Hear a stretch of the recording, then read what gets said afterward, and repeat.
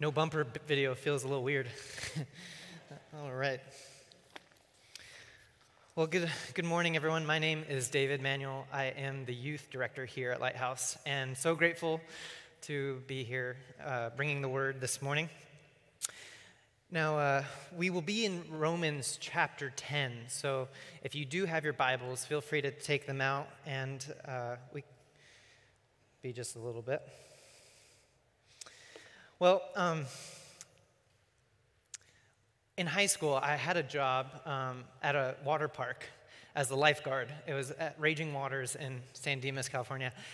And one of the most frequent um, drownings uh, would be uh, people just being completely disoriented by, by going through the, the, the dark slides, winding everywhere, and then they pop out right at the very end into the pool. And so now they're like, skimming across and sinking a little bit, and then um, in water, completely blinded by the light and, and really disoriented. And so the drowning starts to look like like a turtle kind of trying to needing to flip around and and you kind of wait just a couple seconds to see if they're going to recover if not it you know you jump in and and all you got to do is just here you are. And they're like, hey, I know, I'm better. But that, that is um, one, you know, kind of experience I had with lifting people out of the water drowning.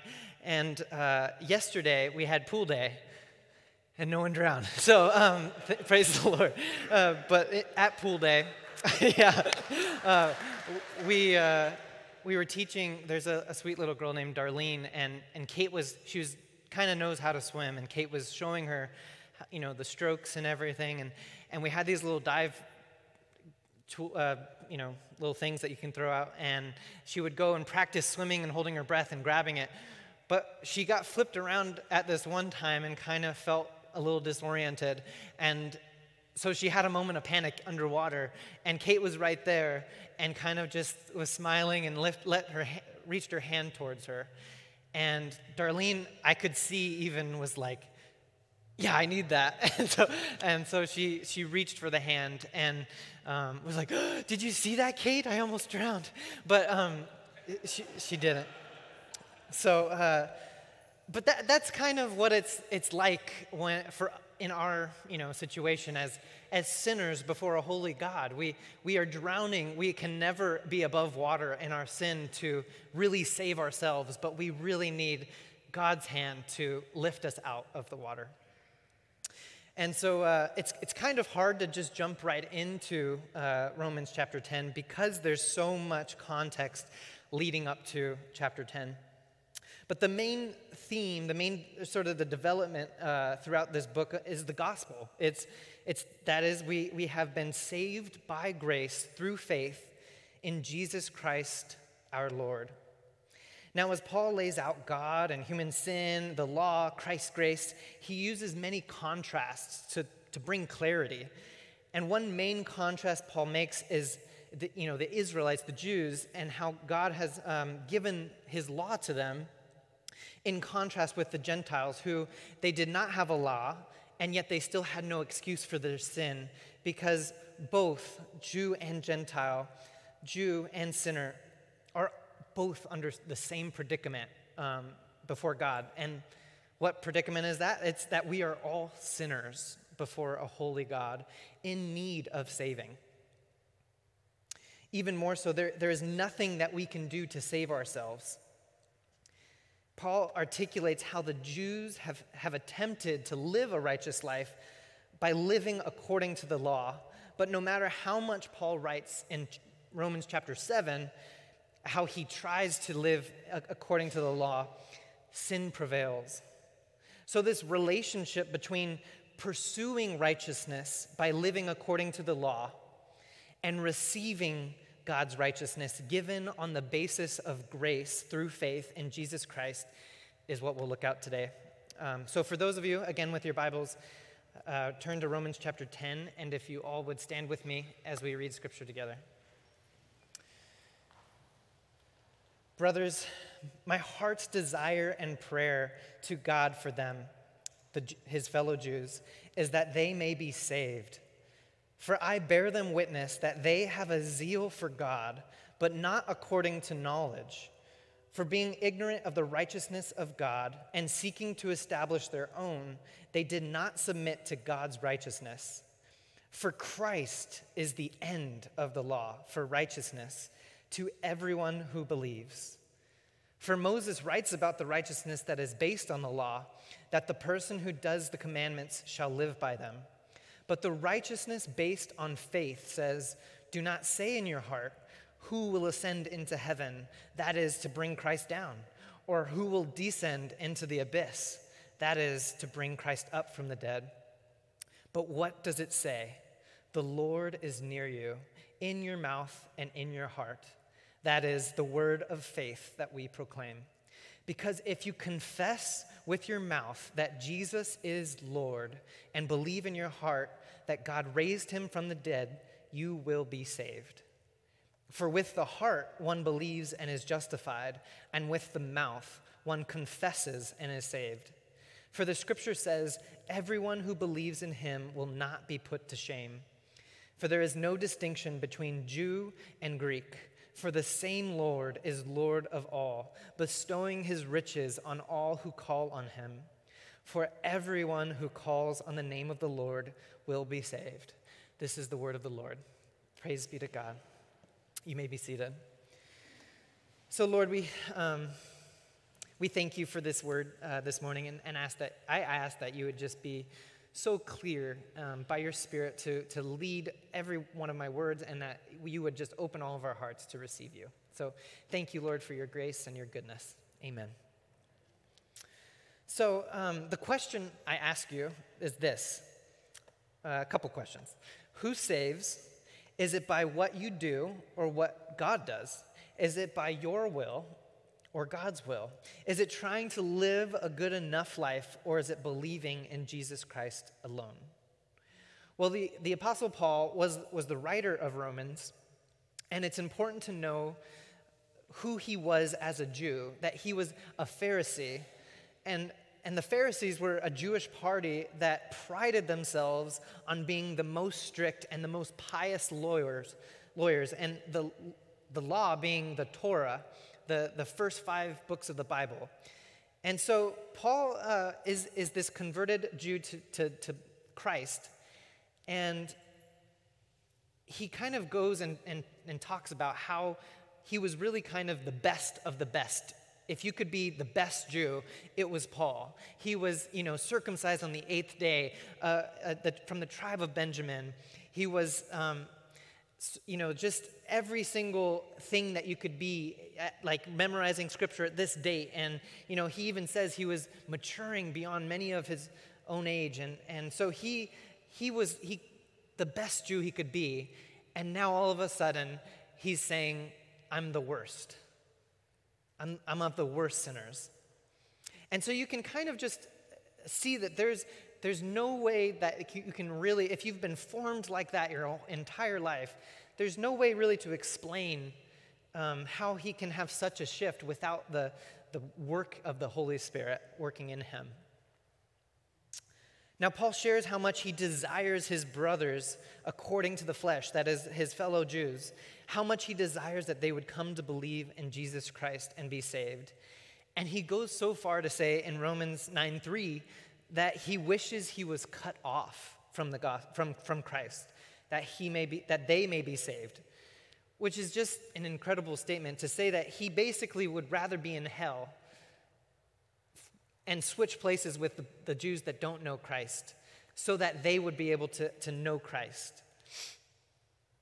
But let's go back to, to verse 1 and 2. He explains that the, the Israelites who reject Christ actually do have a zeal for God, but not according to knowledge.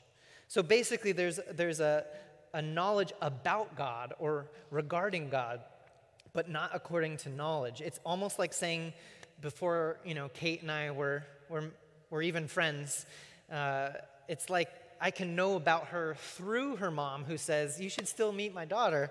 Um, but I can't actually say I know her. And even in uh, Galatians 4 9, it says, But now that you have come to know God, or rather, that you have come to uh, be known by God. So we see that there's this, this knowing is this intimate personal relationship of knowing the other. And so we can see that, that you can be zealous for God, about God, but what Paul is saying about the Jews is that they don't actually have a knowledge that is an inner relationship with God. As verse 3 says, the Jews were ignorant. They simply did not know God's righteousness. Because if they did, they would submit to him. They would, if they knew God and his righteousness personally, they would know that they are dependent and, and on submitting themselves to God, the, the only God that is holy and above all else. And so if they if they did not know God, if they did know God, they would recognize that they are sinners, um, desperately in need of saving. John Calvin, the, a great reform, uh, one of the great reformers, talks about this as the double knowledge of God, that when we come to know God, we come to know ourselves before Him. And so the command of Moses is to do them, to do the law, to do the work, the commandments, and to live by them. Which he's quoting Leviticus 18, where it says, I am the Lord your God. You shall therefore keep my statutes and my rules. If a person does them, he shall live by them. I am the Lord. So, what did the Jews do? They used the Torah, they used the law, not depending on God's help by faith, which would reveal their sin and need for a Savior, but sought to establish their own rules and righteousness standards from the law. So, there, there actually, I don't know if you guys know, but there's 613 commandments given in the Torah. How in the world are you supposed to keep all 613 perfectly? Well, the law was, was never meant to be a permanent solution, only a temporary guardian or tutor. And so, a, a tutor to reveal God's standard of righteousness. And when you honestly assess yourself before God's law, but before his righteousness, you would come to see your own sin for a, and need for a lasting solution, a savior to deliver you from sin forever. As verse 4 says, For Christ is the end of the law for righteousness to everyone who believes. And so you might be wondering well, what about all the Jews before Christ came? Were they not, um, were they not saved? Well, they followed and lived by the Torah, but they were not counted righteous by it. So, what were they saved by or counted righteous by? They had faith in Christ. Yes, get this. Even Moses, from whom the law was given through, looked to and believed in Christ. Hebrews 11:26 says, "He, Moses, considered the reproach of Christ greater wealth than the treasures of Egypt, for he was looking forward to the reward. For the Son existed before his coming in the flesh. Hebrews lists many examples of this. 11:13 says all these people died in faith without having received the things they were promised, that is Christ. However, they saw them and welcomed them from afar. It was all by faith in God, looking towards Christ, that those from the Old Testament were counted righteous. Hebrews 11 has the, Hebrew, the, the heroes of the faith. By faith, Abel offered a, a better sacrifice than Cain, um, and it was counted, commended to him as righteousness. By faith, Noah warned about the things not seen, and he became the heir of righteous, the righteousness that comes by faith. Abraham believed God and it was credited to him as righteousness. And so, without faith, it's impossible to please God because anyone who approaches God really must believe that he exists. And not only that he rewards those who earnestly seek them seek him in, in their hearts. So if we go back to, to verse 4 christ is the end of the law for righteousness to everyone who believes. Why is this saying that because of Christ, now the law is irrelevant? No, rather, the law was look, forward looking to Christ. Christ is the telos, He's the end. He is the end of the law. It is and always has been about Jesus Christ. Ephesians 1 says, Even before the foundation of the world, God chose us in Christ to everyone who believes. Now, that, that it really never was about the law, but believing in Christ. And as you believe in God and, and, and by faith, you desire to walk by the law and to follow God and to um, see and know His goodness and who we are before Him. The law was really given to reveal our sin and bring everyone subject to God and His righteousness as sinners. So, technically, can, can a person live by the law perfectly and not need a Savior? Well, we all know how that went with Adam and Eve. Now, because of our fall, we are born into sin. And so in Psalm 51, it says, even in the, our mother's womb, we, in, we are conceived in the, in the womb, we are in sin. So, but for the sake of the argument, let's say we do a live according to the law, to the commandments perfectly. We've never stolen, we've never committed adultery, we've never lied, we've never killed anyone, we've honored our father and our mother our entire life. But now, Jesus takes it one step further and says, if you've even looked at a woman with adultery, you've committed, uh, with lustful intent, you've committed adultery in your heart. If you've been angry at someone, you're now subject to judgment. So, can you pass this test, this rigorous test of being righteous enough according to living on your own in, by the commandments your entire life? Well, let's just say you did pass, but if you think you can, you're really lying to yourself. So there, here you go. You're faulted right there. But let's just let's look at the rich young ruler who thought he might be good and righteous enough to merit eternal life on his own. He came to Jesus and inquired, "Teacher, what good thing must I do to ob- obtain eternal life?" And Jesus said, "Why do you ask me about what is good? There is only one who is good. If you want to enter life, keep the commandments." Which ones? the man asked. Jesus answered, Do not murder, do not commit adultery, do not steal, do not bear false witness, honor your father and mother, and love your neighbor as yourself. All these I have kept, said the young man. What do I still lack? Jesus told him, If you want to be perfect, Go, sell your possessions and give to the poor, and you will have treasure in heaven. Then come, follow me. And so, what did Jesus say? Be perfect. In effect, he said, Go love and follow me. In other words, repent, turn from your own ways, and follow and love the Lord your God, Jesus, with your whole heart. So, again, the, the end of the law is Christ. It starts and ends with following Jesus. Christ is our Lord. And so the Jews pursued this law without really pursuing God. In a way, made them look really good uh, from, uh, you know, among others and righteous uh, without really seeking God in their hearts with faith. So, in reality, the law was meant to teach us about God and how we ought to live and reveal our sin in the process and, and thus show us our due reward. Eternal life? No. Death which is the reason Christ came and paid for your death on the cross. That the Torah was really meant to illuminate our sin, to illum- illuminate our inability to keep the law, and to show us that we really truly are enslaved to sin.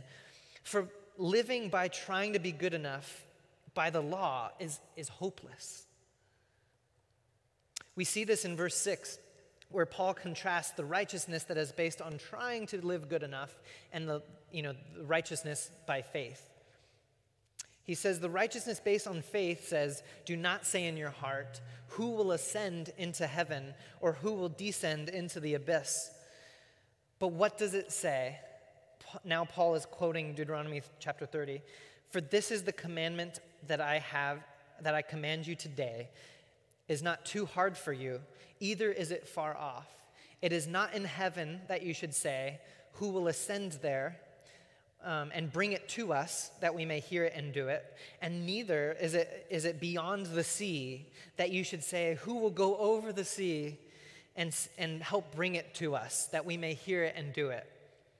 So, in, in other words, he's kind of saying, It's just, it's impossible. Who can do this for us? We, we can't do the law. Who could ever be good enough to make it into heaven? And, and here in verse 6, who could ever who's going to heaven to be good enough and who's going to hell because we don't really know. We don't, we're, we're kind of hopeless. But it, he's saying that the law of, of uh, the righteousness by faith is not that. The righteousness by faith is saying, Christ himself has made the way for you and for me. He's made it possible. God is the one who sent his son into the world.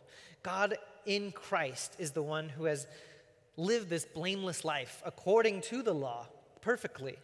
Now, God is the one who paid the price of death for your sin, for my sin, for everyone's sin. God is the one who has enabled you by his Spirit to choose him.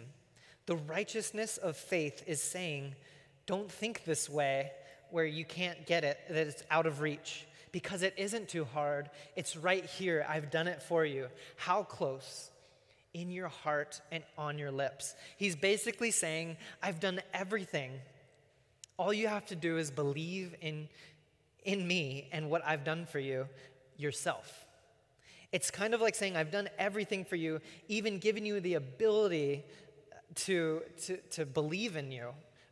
But now he's given us that opportunity, that, that invitation for us to choose, to say yes. So, this is the truth.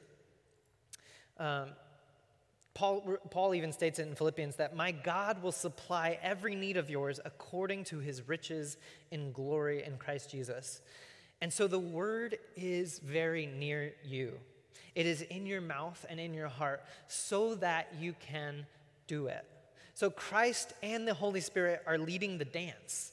I, I, barely dance, but um, when at our wedding we kind of practiced a lot, and I, I don't think that I, I led very well. But a good dancer can lead really well to where you just kind of fall into it and you just keep going. And that is kind of like what Jesus does for us. He leads the dance, and we just simply, He's given us the ability to keep up with Him, and we just have to say yes. And so, verse 9, it goes, if you confess with your mouth that Jesus is Lord and believe in your heart God raised him from the dead, you will be saved. And so, if you what? Confess and believe. Now, when we confess something, it's not a lie or a false statement, but it's the truth. We're confessing the truth. How do you respond to truth? You either accept it, you confess it, or you deny it and you lie but you cannot do both. This is why, you know, in a courtroom, lawyers will say, this and this happened on this day, true or false, yes or no. Now, if we confess with our mouth, we say it out loud so that others may hear and not be ashamed of this truth. But what exactly are we confessing? That Jesus is Lord. Now, what do we mean by Lord?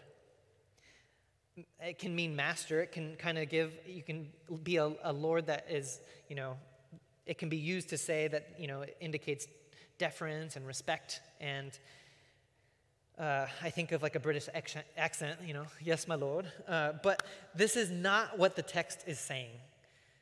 When the Lord is all capitalized in the Old Testament, it's really the name of Yahweh that's, that is, it's ascribed to God alone divine, unchanging, transcendent, above all else, above human, above human thought or you know words, meaning the Holy One, the Lord of Lords, no being higher, the Creator. So, furthermore, Jesus, the, his name, Jesus, literally means Savior. In Matthew 1, it talks about how G- she, Mary, she will bear a son, and you shall name his, you should name him Jesus why? For he will save his people from their sins. So, Jesus, he's our Savior, and he is our Lord. He is God. So we when we're confessing that Jesus is Lord, we're saying, Jesus, quite literally, you are my Savior and my God. So believing in, in his one and only Son, the Father's one and only Son, uh, that, that we, we come to believe and choose to believe in the way, in this way, in saying Jesus is Lord, and this is really the only way he gives us. That he, Jesus himself said, I am the way, the truth, and the life. No one comes to the Father except through me. And so, even though he was born 2,000 years ago, he has always existed as God the Son.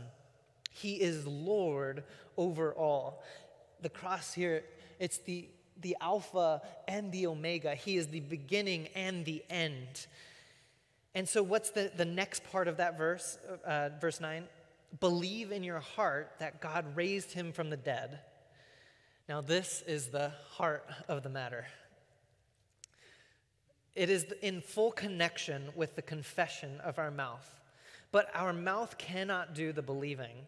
Our mouth merely, you know, states what is already in our hearts. We must truly believe ourselves that Jesus is God and that God raised him from the dead. Now, you might be thinking, well, if, if the verse says uh, about, it talks about God raising Jesus, then is Jesus really God? And, and I respond by saying that Scripture reveals to us that, that this God, our God, the only God, is three in one, that He is triune. He is the Father, Son, and Holy Spirit. This we believe in the Trinity.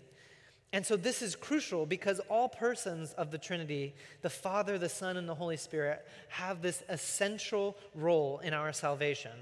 For the Father sent his Son into the world, the Son accomplishes it all for our salvation, and the Son now sends his Spirit uh, to, to allow us to, to apply salvation to us. And, and as we do, as we say yes, he, he sends the Spirit into our hearts and seals us forever, as we just sang about. Seal, seal our hearts for thy courts above. So we must confess with our mouth and believe in our hearts. Now, notice this is a both and. This is stating both together our heart and our mouth. And it's, it's not to say that the mouth saves, but faith. For with the heart one believes and is justified or counted righteous and uh, I don't know if you've heard the question of have you given your life to Jesus before? But this really is the best way to state it because it's our whole life and being surrendered to Jesus. It's our, our heart at the deepest part, and it's our faith, our mouth, our body, everything, soul and body, saying, I believe, Lord. As Romans 12 says, it kind of helps us make sense of this that that we are to present ourselves as living sacrifices to God. So it's, it's our whole being, it's our whole self before God.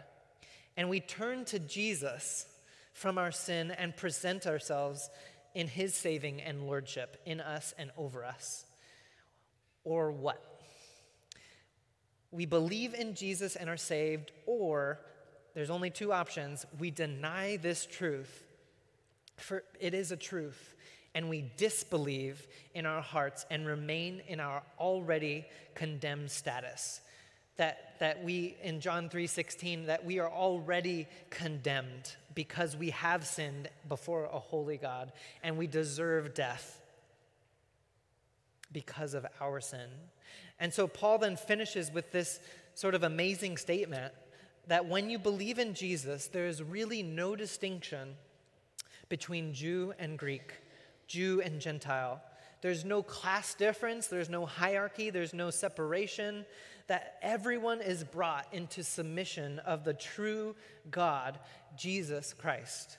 And I think this is so important to remember that even though we might look different between you and you and I, come from different backgrounds, what, what have different things that define us, in Christ, we are all equal and in value of, as God's son, that we are in Christ.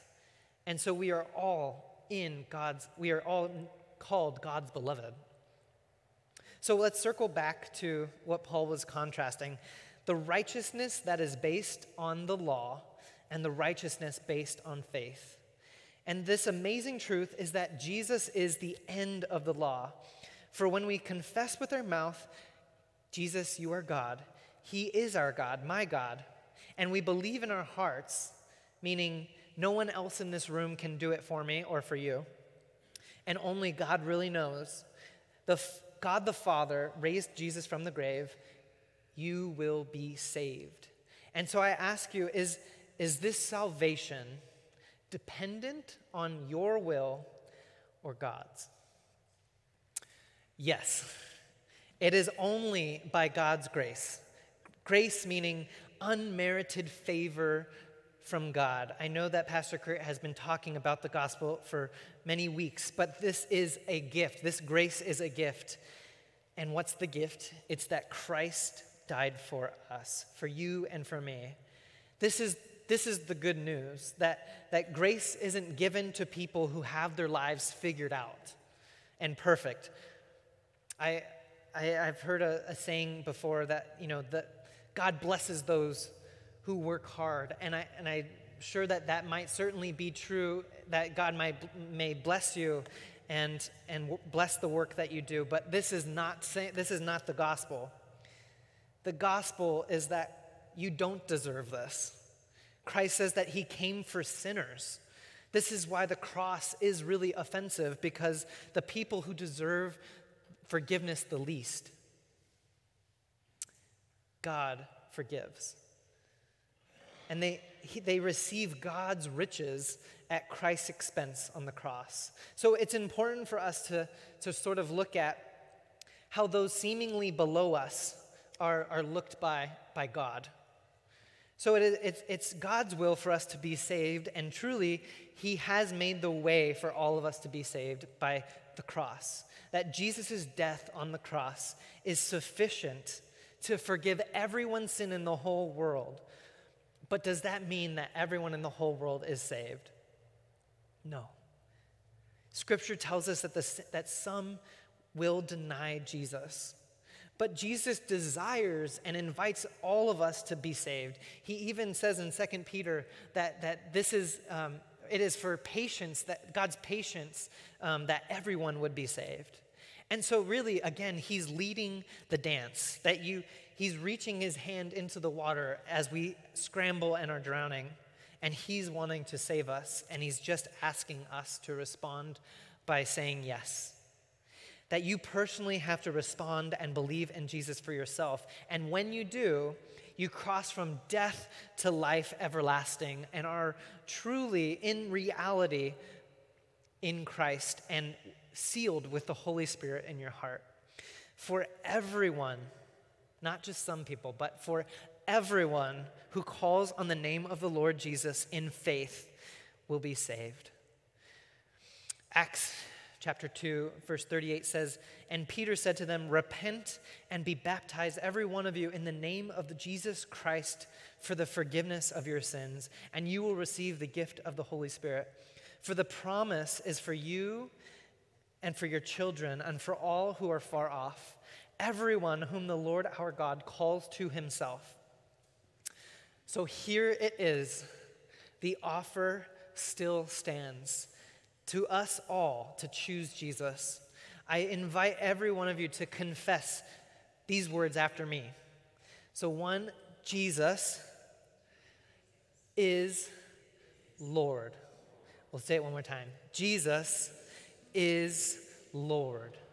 Now, just take a moment and just let this sit in your heart. Now, you, you might be even struggling with believing in God. You're with, with believing in this gospel. But you can just tell him and, and tell him and be honest and say, I believe, Lord, even help my unbelief.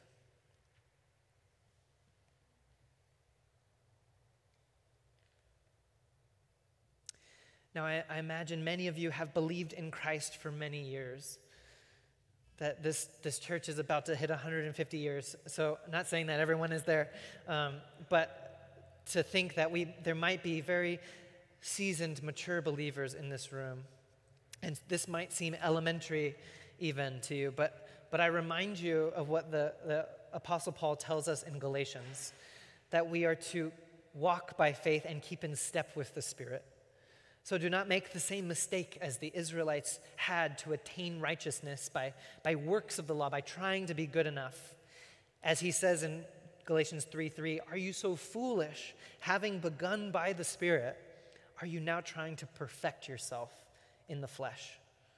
Because the gospel is not just a one time gift we accept, but the gift of salvation is a relationship with God forever.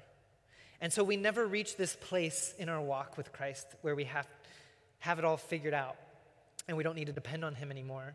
But if anything, we learn as we walk with Him more and more that we can't do anything apart from Him. For one of my favorite verses is John 15 that whoever abides in me, in Jesus, he bears much fruit. For apart from me, you can do nothing. And so part of, part of this Christian life is realizing that we can't do anything apart from Christ. And you might be wondering, what does this mean for me? And I invite you to pray. Ask Him. Maybe God is calling you to trust Him and believe in Jesus Christ for the very first time. Maybe God is calling you to, to restore a relationship with someone.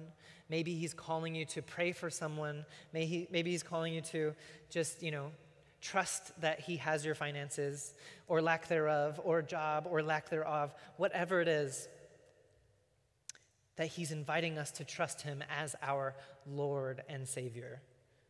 Who, who, whatever God may have for you, remember that Jesus is Lord, your Lord and Savior, that he is your good shepherd, and he invites you to trust him. So today, if you hear his voice, the offer still stands. Do not harden your hearts as in the rebellion. Believe in Christ. Amen.